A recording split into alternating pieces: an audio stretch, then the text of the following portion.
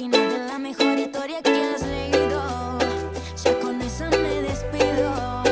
Porfa, mejor no me llames. No te quiero ni de amigo. Perdóname para qué? te que vuelvas a fallarme otra vez. No muchas gracias. Ese chiste no me hace gracia. Sé que es bebé. Tanto que te lo hice, pero no quiero.